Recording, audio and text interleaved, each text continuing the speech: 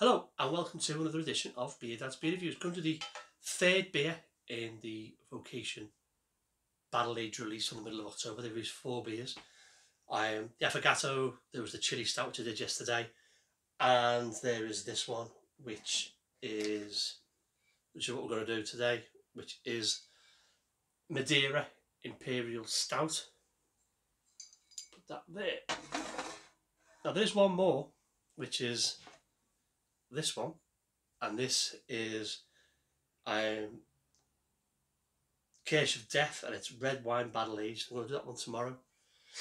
So we're going to focus on this one. Let's read the spare out and see what it says.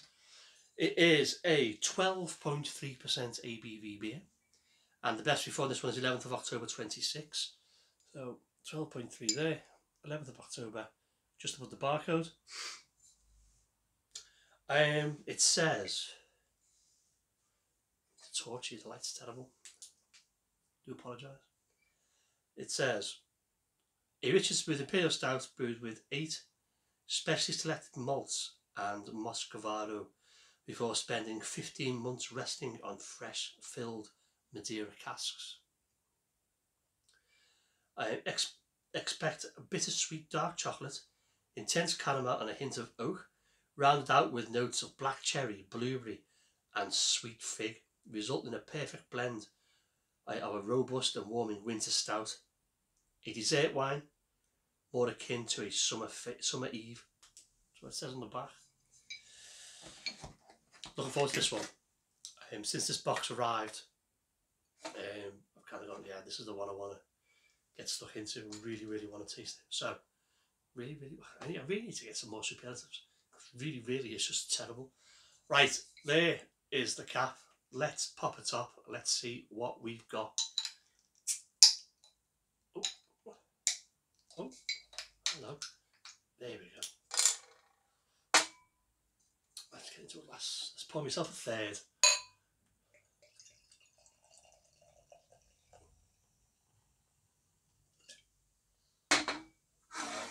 There we go. So, beer in a glass, what have we got?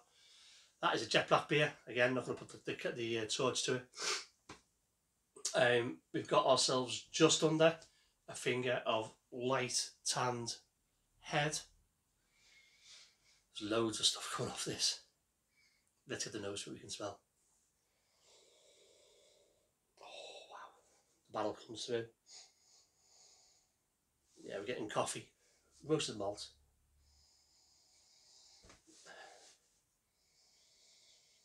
there's a fruitiness to it. There is a fruitiness to it. I'd say it was fake, but there's a fruitiness to it.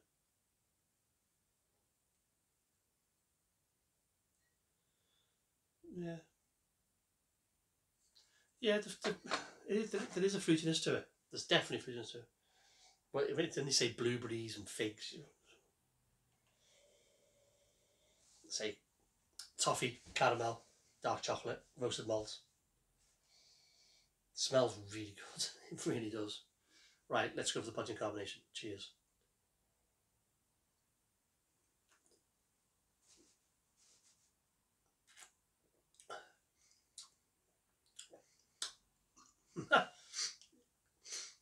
that is that's really good. Really good. Oh, stop saying really, David. Um, that's superb. Sublime. Um, body is medium, slick, velvety, oily, beautiful. Covers your palate really well. Um, carbonation is nice and soft. Um, just kind of just gives you a little, just a little gives the gives the, the flavors a little bit of a push around inside your mouth, but it is lovely.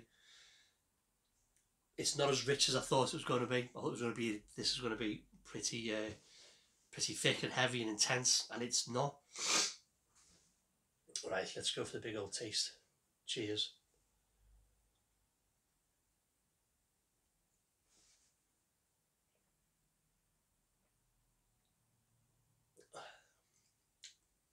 That's fabulous. That is fabulous.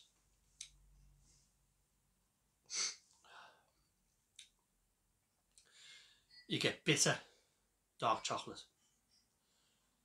That is then balanced out with a vanilla caramel toffee kind of sensation. I can see where they're coming from with the fruit, with the is it was it blueberries and blackberries or something? Blueberries and figs. That's wrong beer.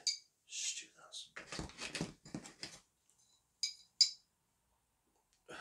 Black cherry, blueberry, and sweet fig. I kind of get where they're going with it. Um, when you have, whether you do, I know I said I have, I have blueberries quite a bit, full of antioxidants, really good for it. Um, the aftertaste of blueberry, I kind of picked that up in this. Um, there is a there is a sweet, ripe, look, excuse me, fruitiness to it but it balances and it works with the, with the caramel, the to- caramel toffee, and the bitter chocolate. Um,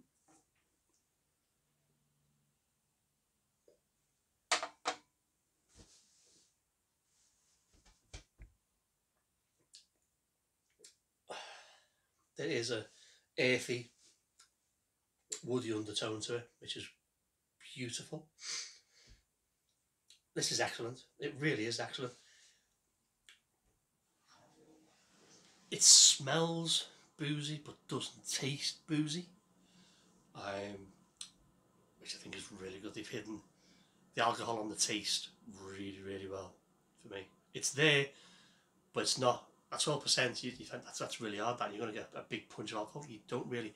I've got a little bit of a warm feeling here, which I quite I find quite pleasant. I've got a little bit of heat here and here, which again I find quite pleasant. Um, this is just delicious. It really is delicious. It's the best of the three by a mile, by a country mile. Right, so this is Vocation's Madeira Imperial Stout coming in at a whopping 12.3% ABV. It's a perfect for a winter evening, it really is. It's proper warming. Um, again, like the affogato, it's a dessert beer. I would have this after a big heavy dinner instead of having a dessert, I'd go for one of these and just uh, it's, beautiful. Um, yeah, I like this a lot. This is one of the best things they've done in a long time. So if you've had this beer, um, please let me know what you think. Please put a little comment comments box below. I'll put the vocation website um, link in the description box down there. This is on sale at time of recording this video. It's round about about six pounds seventy five a bottle. Um, but it's 12%, it's a bottle of wine in the end of the day. Um, is it worth it? Yeah, it is. So, do I like it? Yes. Would I buy it again? Yes. Would I recommend to friends? Yes. Um, if you are thinking of getting this series of beers, um, I got the this the pack, six of the uh, two Madeira, two Affogato, and two chili. It's about thirty five quid. It saves you probably about five pounds to be fair but you're getting stung on that on the delivery charge.